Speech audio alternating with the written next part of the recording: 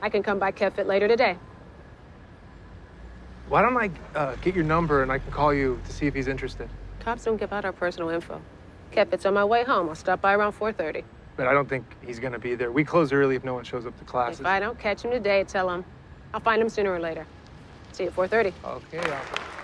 And now, the MVP of the game, none other than Jace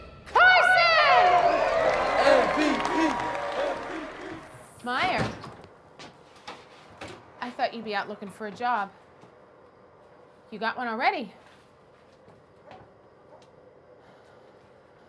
Well, the fridge has already been fixed. Neil fixed it. Hey, babe, how do you feel about bowling next Thursday? I know some guys in this league. Oh.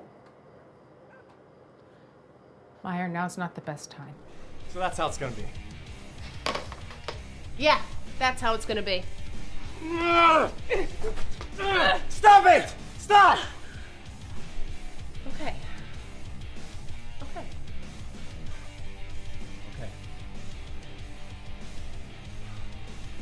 Hey! Come on! My sister? Seriously? want a break! I have no idea what he's talking about. I know exactly what he's talking about.